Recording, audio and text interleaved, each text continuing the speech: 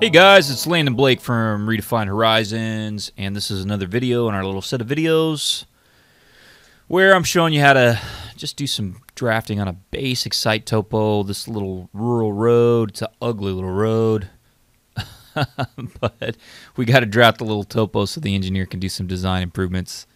Um, so in the last video, try not to say um too many times. In the last video, we uh, went ahead and converted our 3D polylines to 2D polylines. We faked in some stubs here on the driveway and faked in a little bit of this edge of pavement line and we faked in a little bit of this driveway over here.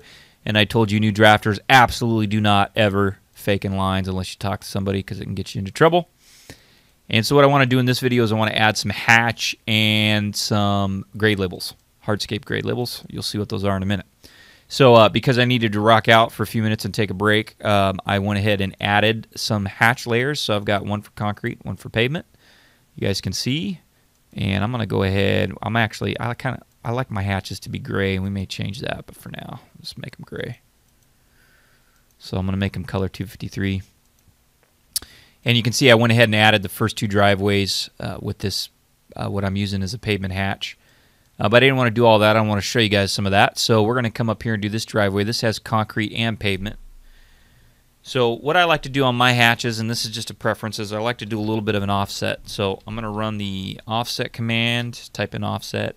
You can see I've already entered a distance there, one foot. You could change that if you want. Uh, I'm going to hit enter. And then I'm going to click my polyline here and just tell it I want it to offset one foot.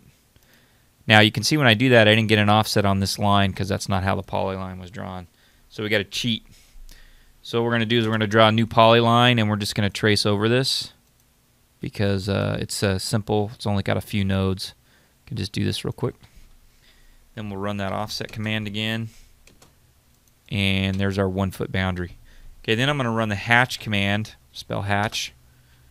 And we'll just click a point inside. You can see we get that solid hatch. Okay. And what I want to do now is just use that match properties button over here on the ribbon that I told you about before. We're going to grab this hatch. And you remember I told you it changes not just the layer but also other properties depending on what you select. So you can see when I click this now it's going to change the layer and the hatch pattern, um, which is what we want. So cool. Now we can go in. I just go in and delete these two polylines that I used to draw my hatch. Okay. All right, now we got a, a little bit of this concrete driveway here. I'm going to chase over this again. Now, when I have a, a line, a surface like this that I didn't survey the whole whole surface because of, of the mapping limits, instead of doing a straight edge like that to make somebody think that's a clean break, I always zig and zag it a little bit. Get your zig on.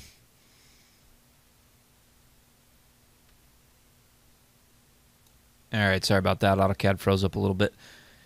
All right, so you can see I just got a little little zag there so that people understand that's not a clean line. That surface continues. And we'll do our offset command, choose a one foot offset. We're going to hatch it.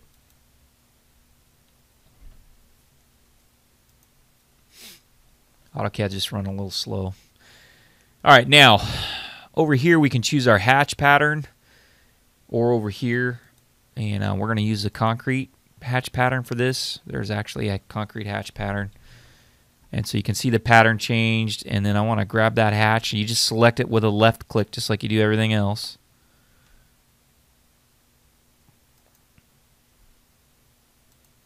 And I just want to make sure it's on the right layer. So I'm going to take it off of layer 0 and we're going to put it on the hatch concrete layer. Okay, then I can go in and delete these two polylines. Oh, it's a thing of beauty there. All right. We got a little pavement area here we're going to do.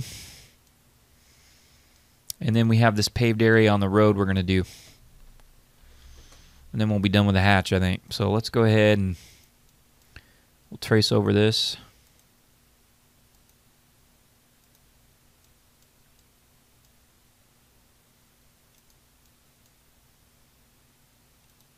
And there's other ways you can do this too. You can use the region command if you want or the boundary command.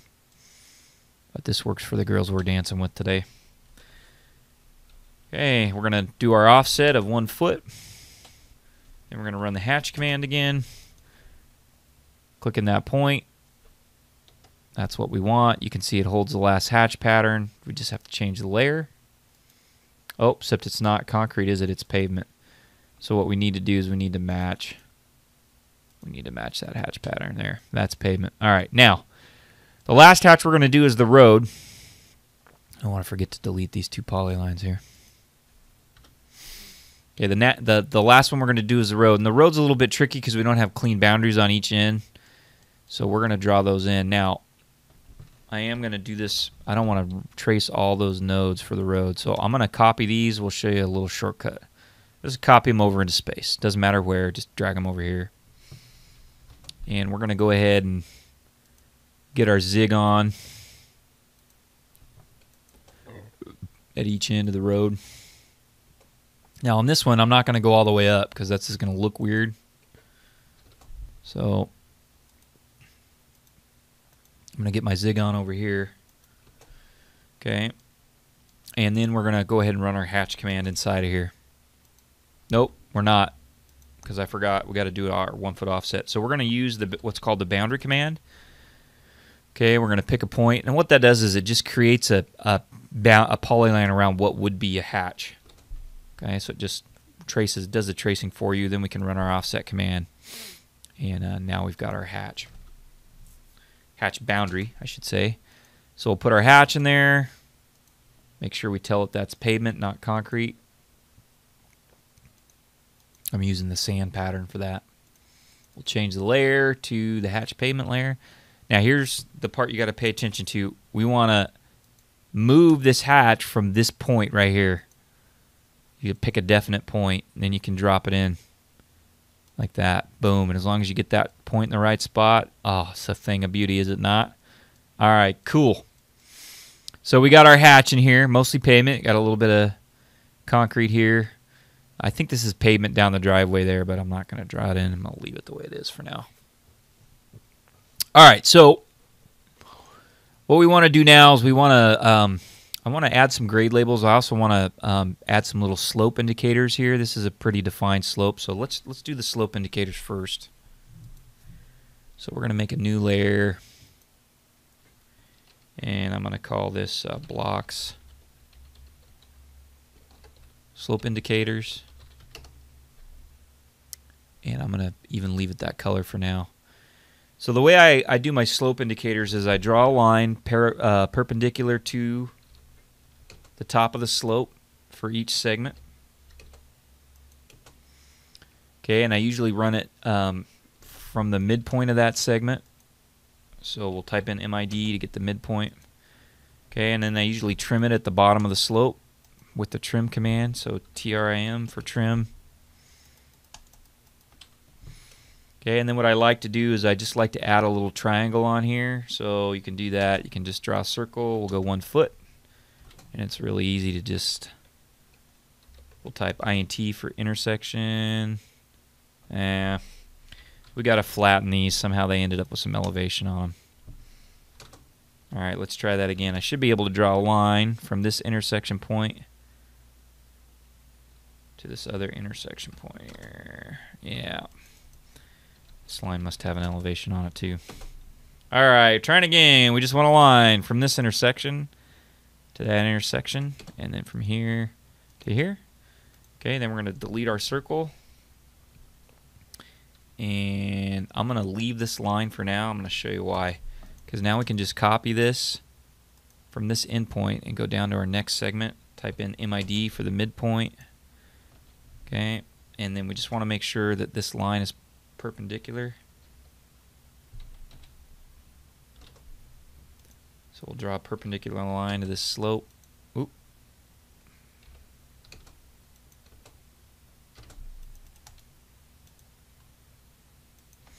Okay, then we're going to run the rotate command. I'm going to select these. Going to use this as the basis of my rotation. Click with the left click. I'm going to type R for reference. I'm going to click this endpoint, this endpoint, and that endpoint three clicks. Now that's lined up perpendicular. Okay. Now we want to trim the end of this. And the other thing we want to do now that I've got this in the right spot is we're just going to trim that line. So that's what my slope line looks like. Now we're not going to trim this one yet because we're still going to use it for the copies. And uh, I moved pretty quick there, so it'll be good for you guys to see this again. So we're going to type MID to drop this on the midpoint. We're going to draw another line with the perpendicular snap, perpendicular to the top of the slope at this point. We're going to use the move command to move this line to here. That's just so we can get this lined up the right way. Then we're going to type the rotate command. We're going to select these three lines. We're going to say use this endpoint as the basis of your rotation. We're going to type in R and hit the space bar for reference. We're going to click two, the two ends of the lines we want to rotate, and we're going to snap this third point on the on the line that we want to align to. Okay, and then we can delete this extra line. We can extend the slope down, and we can trim this out. Okay, and we got maybe one more to do there.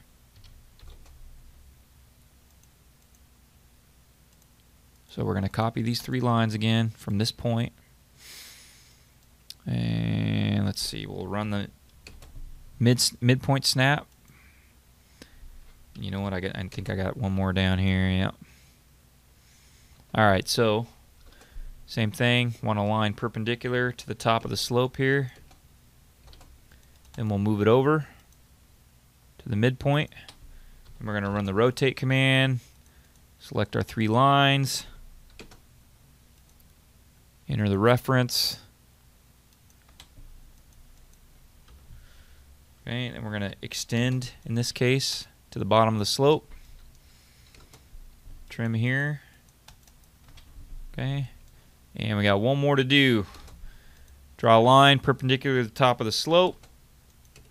We're going to move that line over to the midpoint.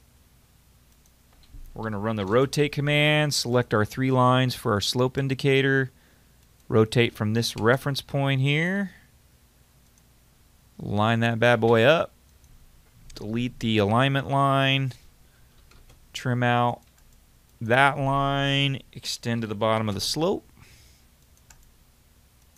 Okay. All right, thing of beauty, thing of beauty. Okay, now we can come in and just trim this last one out. I forgot to do that. Okay.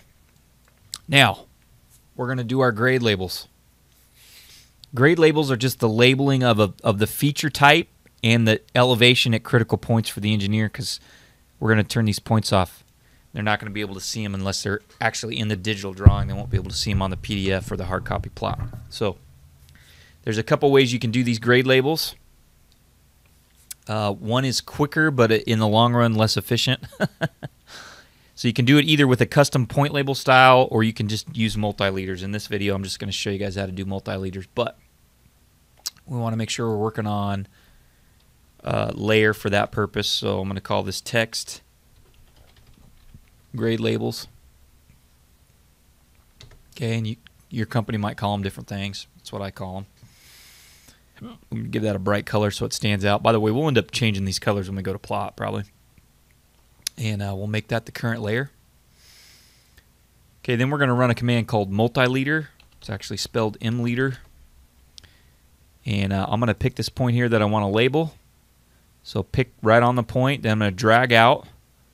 And you can see it now. It's letting me type in some text. So I'm going to type in edge of pavement. And then my elevation, EL, equals, uh, let's see, 1202.95 with the footmark.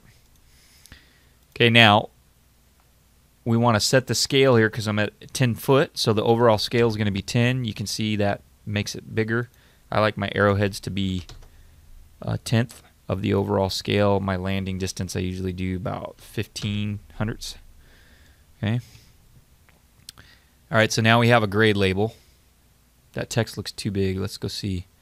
Yeah, text should be a tenth too. All right, now we got a grade label. Looks about the right size. So once you have that first one done, you can just copy these. And uh, we're just going to go in and, and label some key spots here. Now you got to remember the engineer is going to have the contours too. So we're just labeling some grades at these critical intersection points like where the driveway apron hits the edge of pavement.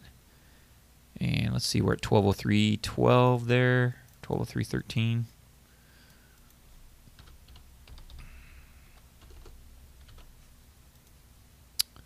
And this one's at, we're going to select that. We use that square grip to move it over the point, the arrowhead. And then we just edit the elevation. So this is 1204.84. All right, and this one is uh, 1204.64.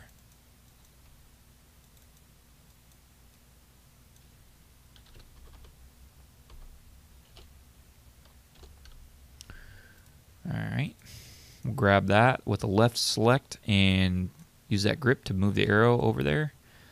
All right, that looks good. trying to decide if I need one at the center of the driveway there. Yeah, we can add it. So we'll copy. Now in this case, I'm gonna um, we're gonna cheat. We're gonna cheat this in a little. So I'm gonna just put this over the midpoint instead of the actual node because it's gonna be real close and it'll look better. So we're gonna go to the midpoint of that line, and then uh, we've got a 1203.84. So, and uh, we're gonna call this center line a driveway. Okay. Mm, oh, we got a power pole I need to block there. I got to remember to do that. All right, so most of my grade labels on this look like they're going to be uh, edge of pavement, but let me do some ones that I know will be different. So I am going to label a few of these top of slopes. So we'll go ahead and we'll, we'll drop in a couple top of slopes labels here. I'm not going to do all of them, but I am going to do a few. We'll do three. So this is at a 1203.40.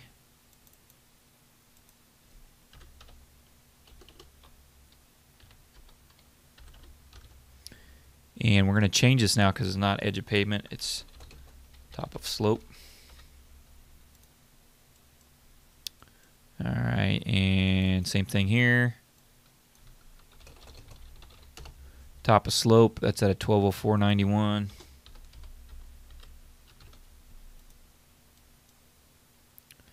and we're at a 1205.96 and top of slope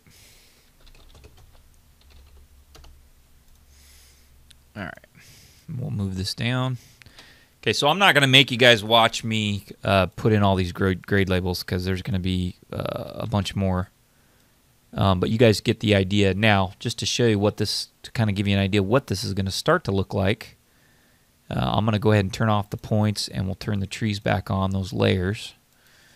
And you can kind of get an idea of, of what this finished topo is going to start to look like. Okay, plus we'll have some contours in here, which will help a little bit. All right, and we'll, we'll make sure those trees fade back. In fact, what we can do is select these tree blocks right now and say, uh, right click on them and say display order, send it back. That'll help a little bit. Okay. All right. So I'm going to finish these grade labels. I'll drop in a power pole block. And then I think in the next video, we're actually we're gonna actually going to be working on the surface. So we'll get some contours and some contour labels to drop in here, and then we'll be almost done. All right, I'm at 20 minutes. That's almost 20 minutes. about double what I like to do. So I appreciate you guys hanging in there and watching this video with me. And uh, I hope you catch the final video where we create the surface and add our contours and contour labels. Thanks. Thanks for watching, guys. Catch you on the next.